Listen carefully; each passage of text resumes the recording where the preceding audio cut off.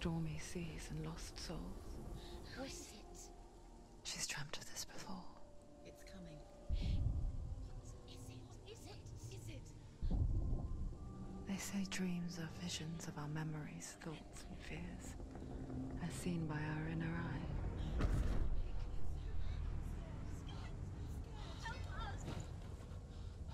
But what if each one of us is always dreaming, even when awake?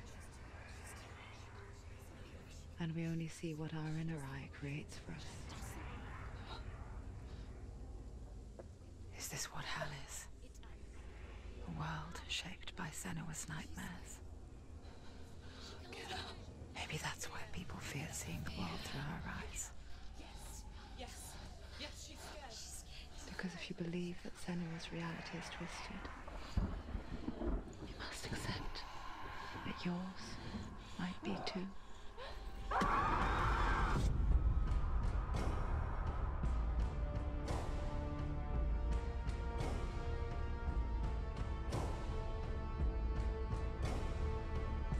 Senua's Sacrifice is a video game about Senua, a Celtic warrior on a vision quest into Viking territory.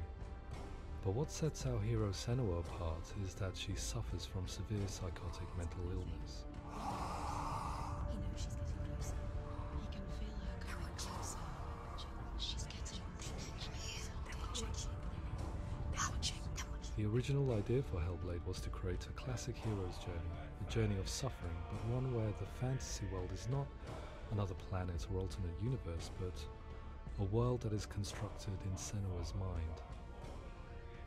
But to do so would mean putting psychotic mental illness at the center of the experience, a subject that is still considered taboo, and a challenge that was both terrifying and exciting in equal measure. In Hellblade, the starting point was a newly discovered Celtic goddess called Senuna in Ashwell, Hertfordshire. When first discovered, her name was thought to be Senua, a name which I liked and kept. I wondered if Senua might have been a Celtic warrior like Boudica who stood up to the Romans. While the Romans had conquered all of Europe, there was a group of Celts up in the furthest reaches of the Roman Empire that could not be conquered, the Picts. And so the Romans built a wall called Hadrian's Wall that spans across Britain from sea to sea to keep the Pictish barbarians at bay. The Picts were known for their wall paint, painted on with woad, and their matted hair clumped with lime. And so Senua would be a barbarian Pict in this image. What's your name? Senua, I haven't seen you before. Uh, I don't live home much. Oh, Zeno's daughter. I have to go. Wait, Orkney is off the coast of Scotland and was inhabited by the Picts, steeped in history and mystery, and so I made Orkney Senua's home and set the stage for a crisis. In the late 8th century, the first Vikings landed on the Orkney Islands. The population of the Picts crashed thereafter, replaced by the Norsemen of the 9th century. Were they wiped out? We don't know for sure, but it would seem likely given the reputation of the Vikings. The Northmen's brutality is legendary. High ranking leaders and chieftains of the tribes they conquered were often offered as sacrifice to their gods. The most brutal of these sacrifices was known as the Blood Eagle. I imagine Senua as a young female warrior who returns home from exile to find her partner, Dillion, brutally sacrificed to a Norse god by these hellish warriors from a faraway land. I imagine the horror of this moment and how it would have dragged her deep into mental torment.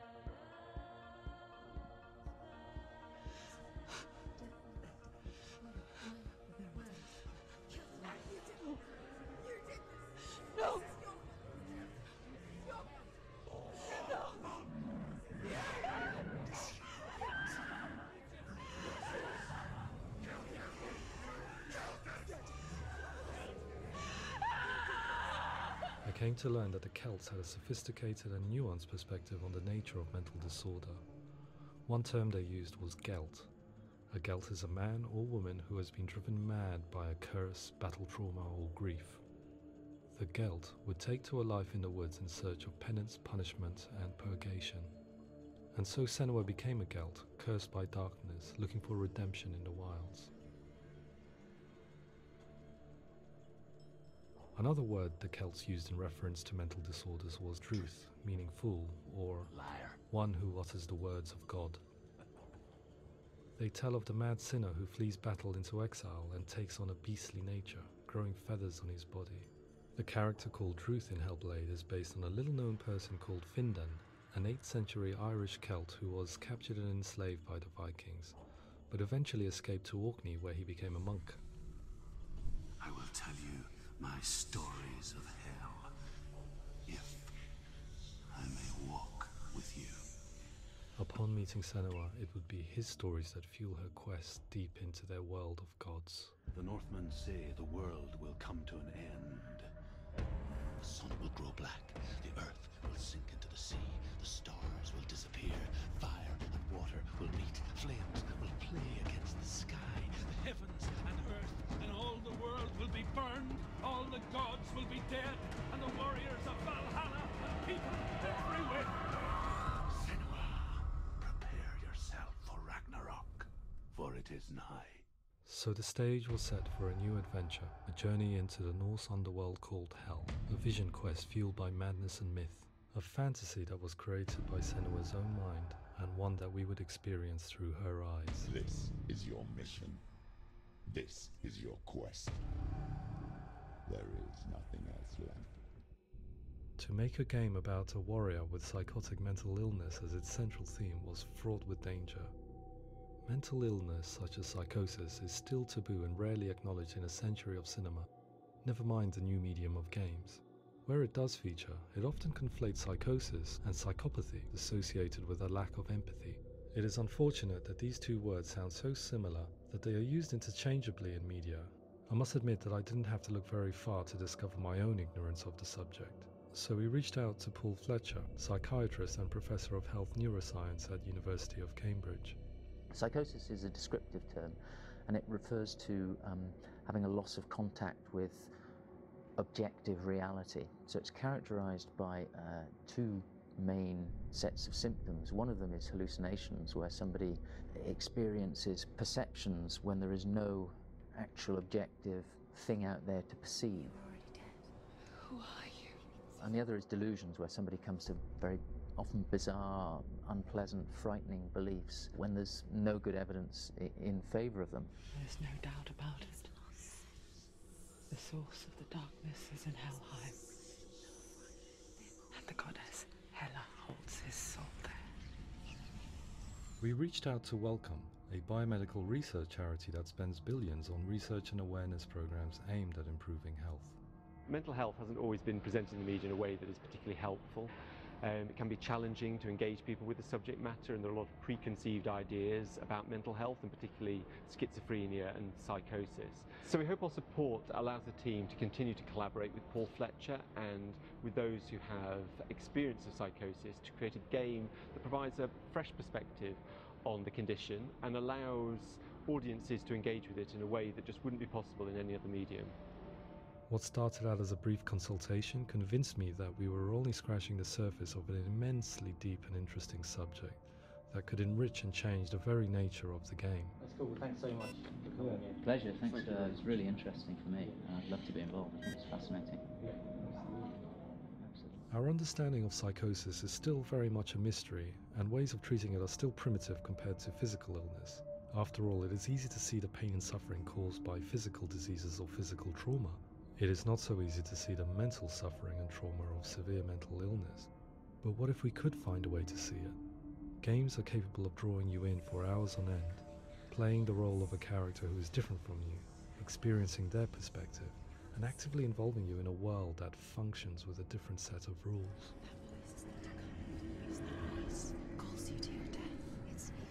If we were to represent psychosis, we would have to simulate voice hearing, a common attribute.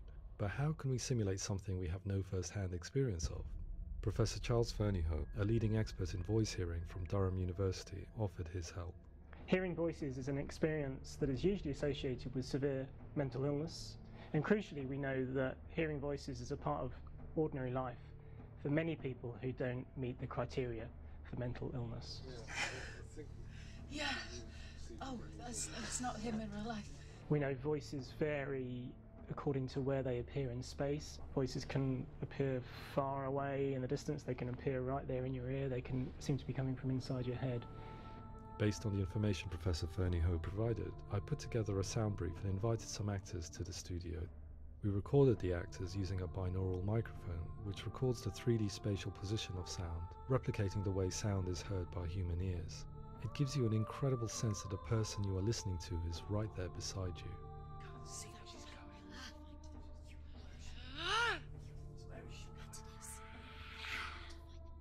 Rachel Waddingham from the Voice Collective came to our studio with two young voice hearers to speak to our team.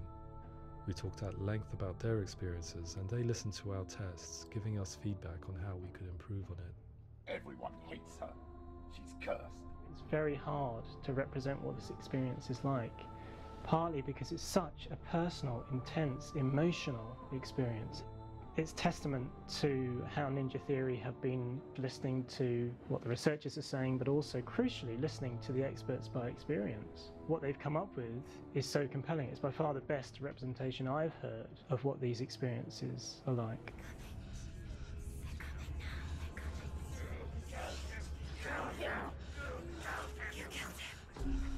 Other common attributes of psychosis are visions and flashbacks. We met with Recovery College East, who work with and care for people recovering from severe mental disorders. A group of service users gave us their first hand account of what they experience. Sometimes when the, the visions or the, what we're seeing is too much, uh, it becomes more difficult until eventually we perhaps don't see anything. The people we spoke to, the stories they told, were fascinating, harrowing, and mind boggling. The reality of what people experience was vivid, far exceeding what I could possibly have imagined. We went away itching to represent some of these visions and flashbacks in the game. Now my heart is so, love is so far away. Don't you know how I wanna feel deeper? I could never know how you grow, all these days are killing me. Now I see insanity does unfold. I just wanna feel, I just wanna feel deeper, deeper. I just wanna feel, I just wanna feel deeper.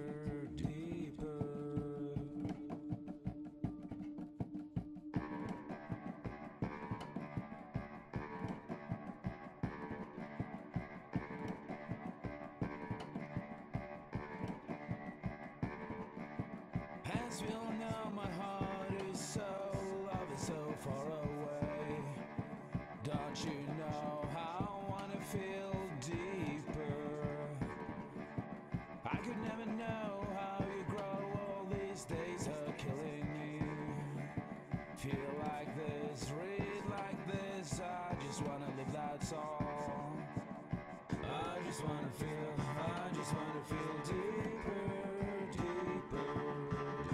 just wanna feel, just wanna feel deeper, deeper.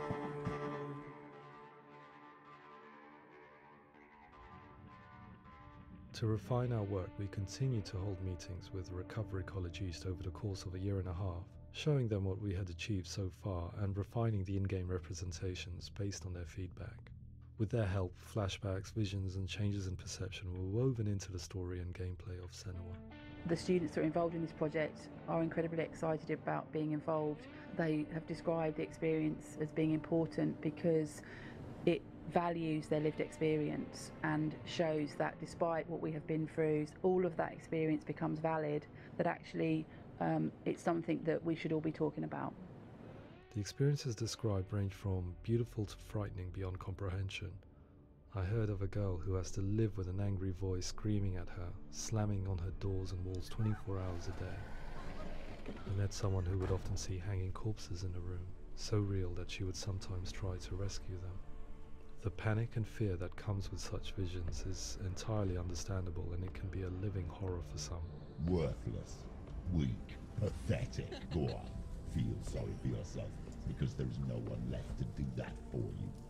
I was urged by one fellow that we should not shy away from showing this horror, and so I was perpetually torn in making Hellblade. Had we gone too far with our representations or not far enough? broken, and lost. Just like your sword. Come on.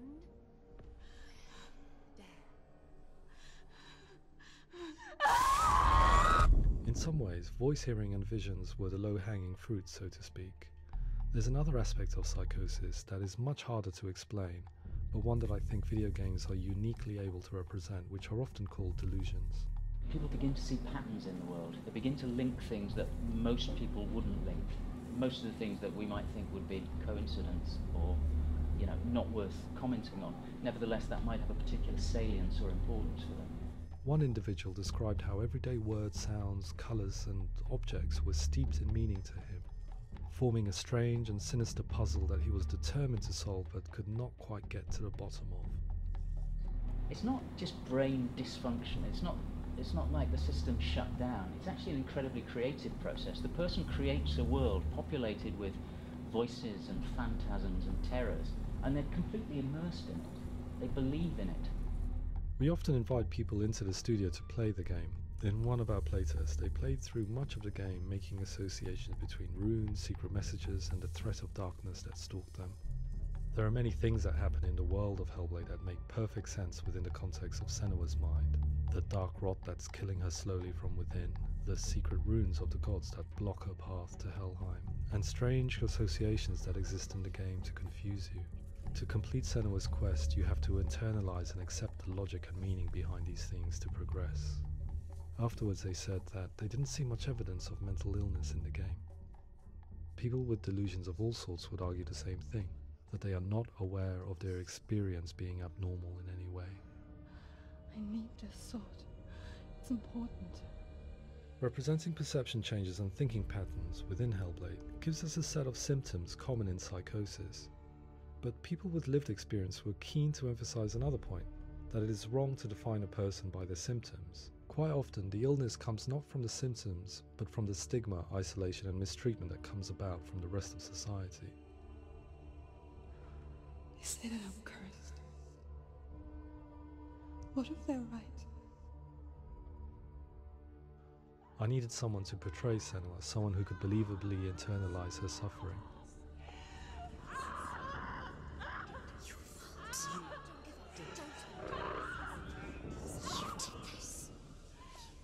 Melina Juergens, our video editor, had been a stand in for Senua over a few months while we perfected our motion capture techniques.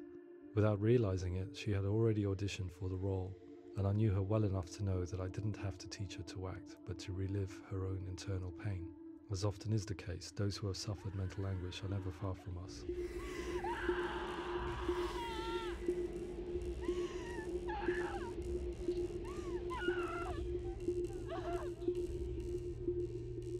Hope is that by creating a compelling and aspirational character in Senua who feels very much real, albeit in a fantasy setting, we can provide a lens into her reality, a different one to yours, and this is where storytelling comes into play. I imagined her life based on common threads in real people's lives. She was always prone to psychosis as a child. Her mother Galena also heard voices and had visions, so perhaps there was a genetic aspect. Or perhaps it was cultural as she lived within a world without science, of gods and superstition, as exemplified by her druid father Zynbel. Psychosis developed in her late teens to early 20s and was exasperated by stigma and isolation at the hands of the clansmen and her father. This darkness. It's spreading. The trauma of seeing her lover Dillion sacrificed tips her over the edge, making her remodel her reality around a concept that connects everything the darkness. So the question is what Senua experiences real? Can only be answered by saying, yes, it is real. It is her reality. All of her suffering will have been for nothing. It's just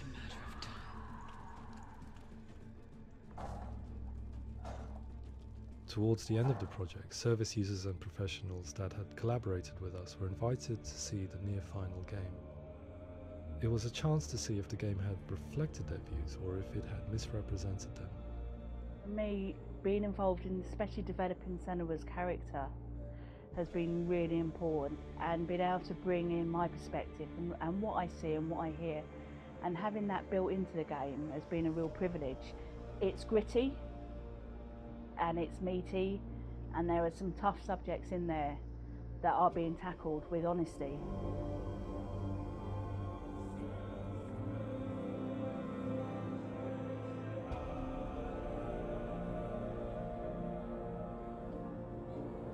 I was blown away by it today, absolutely blown away.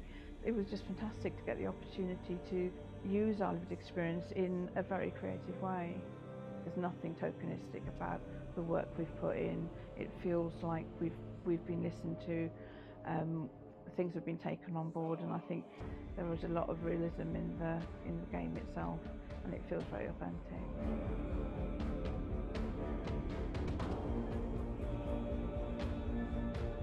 Hellblade will give people a good experience of what it's like to hear voices and, and have those experiences.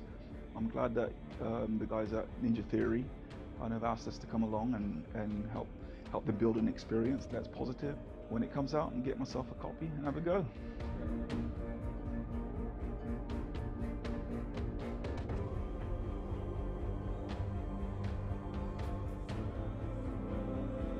I think all the way through, I was really inspired by how the conversations have translated into the game in a way that I think I didn't imagine was possible. So wonderful, really wonderful.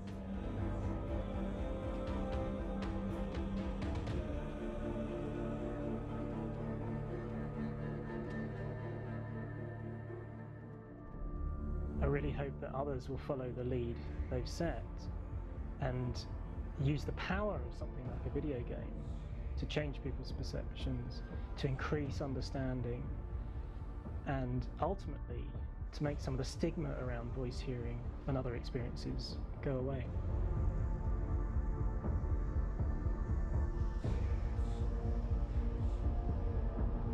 For me, it was really exciting to see um, something that I explore scientifically being represented so beautifully in a character who's trying to penetrate the, the mysteries of the environment in which they've been placed with all of this strange uncertainty and noise and, and conflicting information that they're getting. I'm very excited by this way of trying to represent mental illness because I, th- I think it actually might be offering us insights that we wouldn't get from pure scientific explorations and actually giving us quite an empathic view of what it might be like.